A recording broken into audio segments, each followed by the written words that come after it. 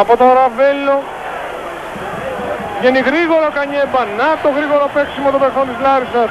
Πόσο γρήγορα βγαίνουν, πόσο γρήγορα κόβουν και έχουμε την παλιά με στόχο τον Αλεξούλη. Αλεξούλης πάντα. Θα κάνει μια πολύ ωραία σέντα το σου του Καραπιάλη και είναι γκολ.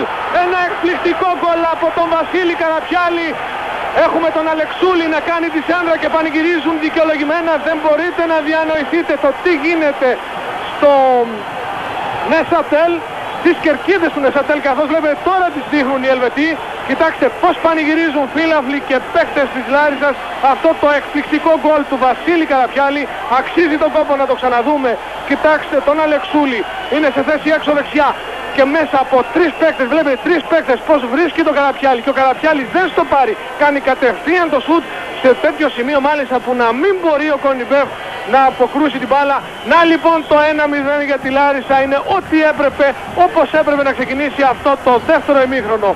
Λάρισα Ξαμάξ λοιπόν 1-0 ξανά το γκολ κυρίες και κύριοι. Η Λάρισα η πρωταθλήτρια Ελλάδος που στέκεται πάρα πολύ καλά, το είχαμε πει ο Βασίλης Καραπιάλης στο σκόρερ και η Ελβετή στην επίδεση.